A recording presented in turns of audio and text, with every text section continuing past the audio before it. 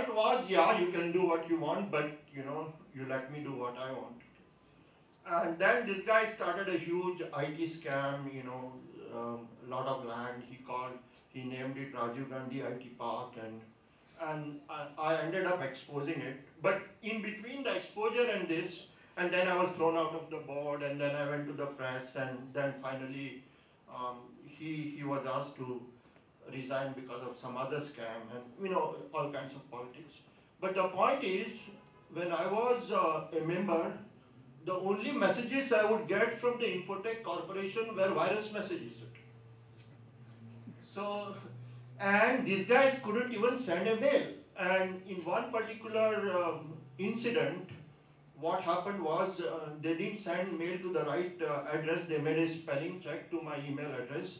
So I didn't get the invite for the board meeting and they passed some 30 crores of uh, uh something for something and um, and since I was very much concerned about you know liabilities of a director, the next meeting I said I don't approve this, and then he said you are invited. I said where is the invite?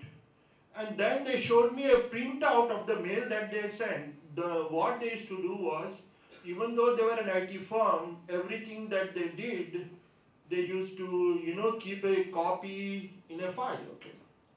And then I saw that, uh, you know, they had spelled my name wrong. And I said, you should have got a bounce on this, okay. But they never checked the bounce, okay. So that was the level of these people in the government who were running something called Infotech Corporation of Goa. So, meaning, how, how, is, how should one be surprised if the security levels are pathetic?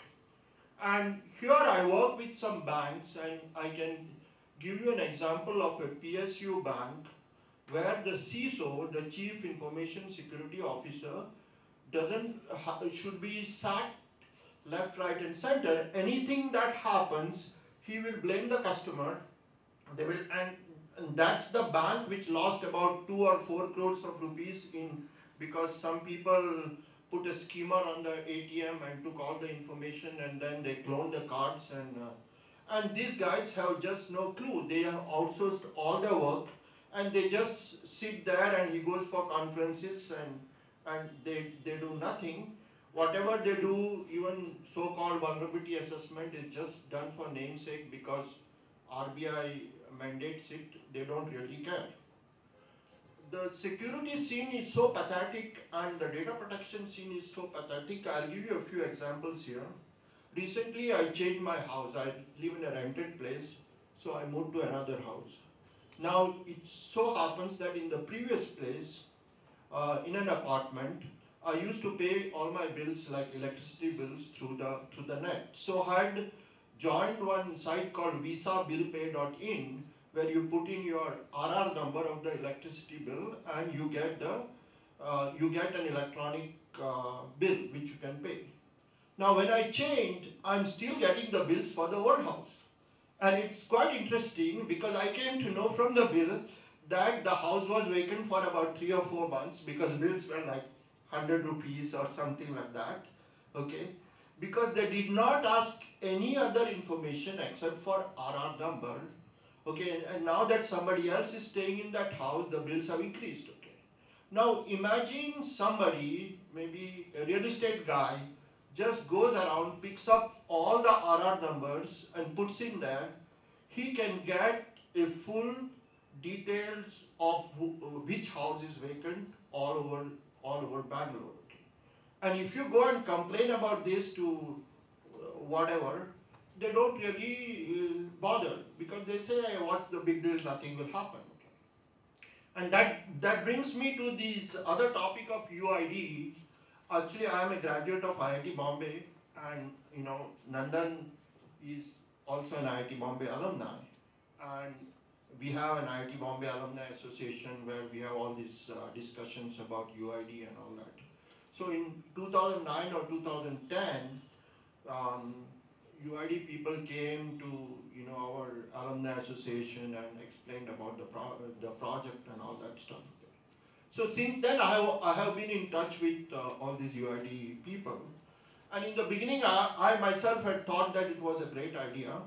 But then as I read about biometric, I found that this is uh, um, this is this is not going to work because it is so easy to fake a fingerprint, for instance.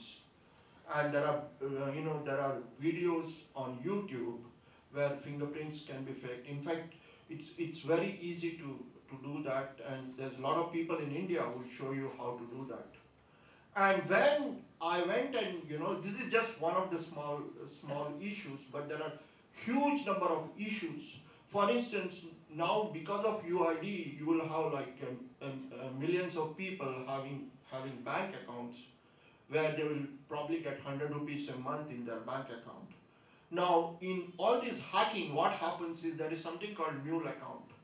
The, the biggest problem with the banking infrastructure is that um, from a hacker's point of view is that if he transfers the money to some other account, the trace is left. That is, if, if he transfers it to his own account, then even though he can get the money, he can be caught later because you know he has transferred the money to his own account. So uh, what usually hackers do is, uh, you know, they, they buy accounts from people who don't use their accounts. So for instance, a, a laborer in India who doesn't use his UID account, pay him like 2000 bucks and he'll be very happy to give his, uh, you know, ATM card, his, his everything. Anyway, he doesn't use the account or he has got like 100 bucks in the account. Okay. So a hacker can then transfer the money to his account and then he can remove the money from his account and even if he's caught, he says, I didn't do it, somebody paid me so much money and what you can do to him, you know. Even so you are not really catching the whole criminal. And in fact, one such case has already happened a Chinese national who came to Bombay and stayed in a hotel actually and he in fact used the hotel address to get himself a SIM card.